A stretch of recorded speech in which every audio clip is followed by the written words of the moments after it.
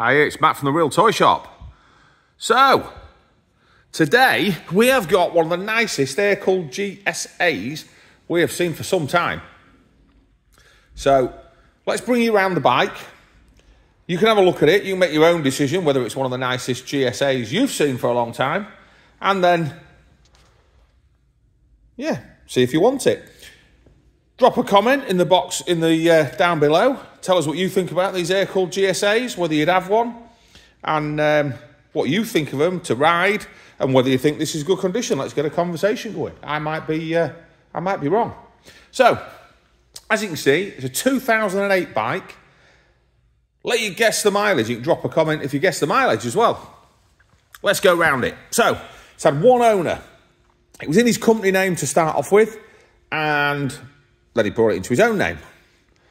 It's also, when he bought the bike, this was done by BMW, you won't see another this colour. It's like a blue flip. And this was done to match a car that he bought at exactly the same time. So, yeah, what a thing. Looks absolutely ace. These lights don't really show it off, but when you get it outside in the sun, it absolutely gleams. Right, come on then. So, on these GSAs, when you're looking at one of these older air-cooled, what are the things that stand out? Well, if you see a good one, the things that stand out for me, and we've had, I want to say hundreds, hundreds of them. Hubs. Normally, you'll see corrosion in the hubs at this age, and the hubs will be letting the bike down. What else? Well, guess you probably all know this one. Front cover also corrodes, and that'll let you down mainly due to the fact there's a bit of sponge behind here and it holds water. It's a bit of a fault. Uh, for well, not a fault, it's just a, one of them things from new. But as you can see, look at it. Getting hold of one of these air-cooled uh, GSAs now in a condition like this, virtually impossible, especially here in the UK. I don't know what we're like in other countries, but most of ours were picked and uh, sent abroad. So anyway, I've held you looking at that engine too long. Got the magnesium head covers on there, rock covers, Again, immaculate. Headers. Look at the front headers. That would be a standout thing, or manifolds as we call them in the UK. In fact, we still call them headers actually. But look at that. Look at those. Spec of the bike. That's another thing that this bike back in the day may not have been as desirable, but now is a desirable spec. Why? No ABS, so no £2,000 pump to go wrong and no ESA rear shock to go wrong. So no ESA, no ABS. So as a spec now, it really is a sought after spec because you don't have the problems. And she's an old bike now. She's um, 2008, so what are we, 16 year old? Next thing, check the shaft. Always check the shaft. If your shaft is nice and smooth without any knobbly bits on it, it's a good shaft. No corrosion. Look at the wheels, look at the tyres. It's got service history, this bike. It's not full, probably been done on mileage rather than, uh, than, age. And it last saw BMW about 300 miles ago. So that was a full big service, or 12k service anyway. Again, look at the hub. Beautiful. Original silencer. These early bikes sound better as well because they weren't governed by all them crazy uh, EU 4, 5, 6, whatever. Again, look at the bottom of the engine, because that is another area where you would see corrosion. Look through there, you'll see a BMW oil filter, looks like brand new.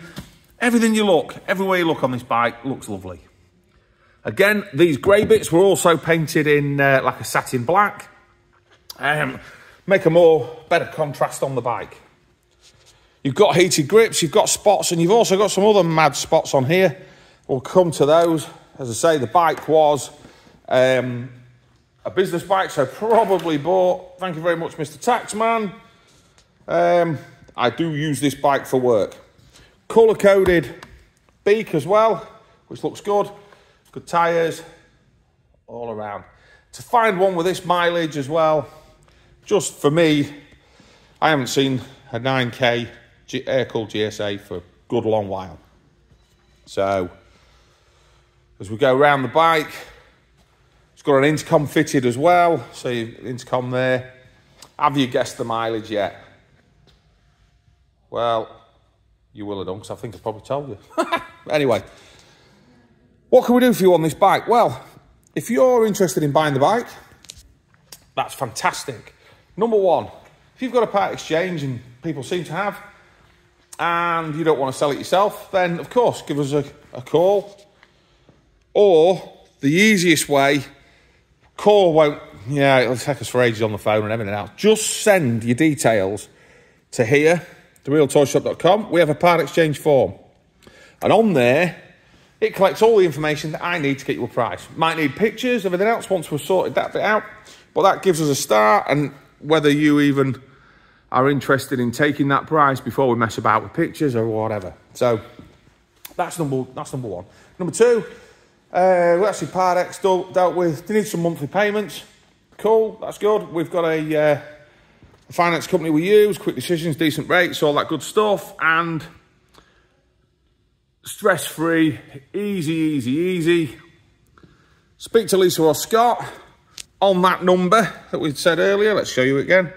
And they will work you out some monthly payments. If you like those monthly payments, then of course we will propose your finance. And if you're a good boy or girl, you'll get it. Racks as well, look, in black, not silver, but cool. Uh, right then, what are we up to now? Delivery. All of our toys all get delivered for absolutely nothing in mainland UK. We're happy to bring this bike to you with my happy smiling face or our dedicated motorcycle courier. And of course, it's free. It's a free service. It's not a concierge service where you can dictate times when you're in and when you're on holiday and all that's free service, so make yourself available. And if you go on our website, realtoyshop.com, on there, terms and conditions, how it all works, and time frames, all that good stuff. So, right, let's make a noise. We want to make a noise, don't we? So, firstly, firstly, firstly, if you need permission from anybody to have this bike, ask your missus first. Your mother, your brother, your dad, your lover. What I mean by that, we hate the conversation on the phone. Oh, that's all good. You've been on the phone an hour. Right, I'm going to go and ask my missus. Grow a pair, you sound weak, or just have the bike, or just don't ask your missus first. Uh, by that, I mean, of course we all need permission. Just get it first. Right, make a noise time. Let's come round. So, here's your dash. Dash, dash, dash, dash, dash. Mustache. There you go. Right. I've put the indicator on. Can't start the bike. So there we go, look. And here we've got all sorts of things going on. Let's turn the indicator off. Need some fuel in it. We'll get fuel. Don't worry about that. So, here's some other stuff, look. You can average speed, average fuel, all that other good stuff is all in there. We need some fuel, we'll put some in it. Won't be going out of here with the light on. Both keys, all its books, all that are all with the bike. And then there's these, look. Yes, I did buy it for work. I'm an escort. I don't mean a male escort, I mean like a I escort my um, plant around the place. So you've got these on. Yeah, I know. Take them off if you want, but we're leaving them on there because you might want them. You might want it for your work.